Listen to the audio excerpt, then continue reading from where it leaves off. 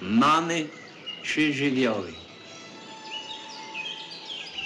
Powietrze, łogi i woda. Te trzy żywioły człowieka żywią, a uny dla człowieka są bardzo groźne.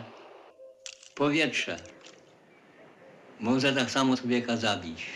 Ogień zawsze jest groźny. Wypali, zaczyna i człowieka samego spali. A woda potrzebno jest każdy, do, każdemu człowiekowi do życia, wszędzie. Bez wody ani róż, ani krok, nigdzie. Dla człowieka jest niebezpieczna. I to wszystko jest dla ludzi. I człowiek jest Panem nad wszystkim.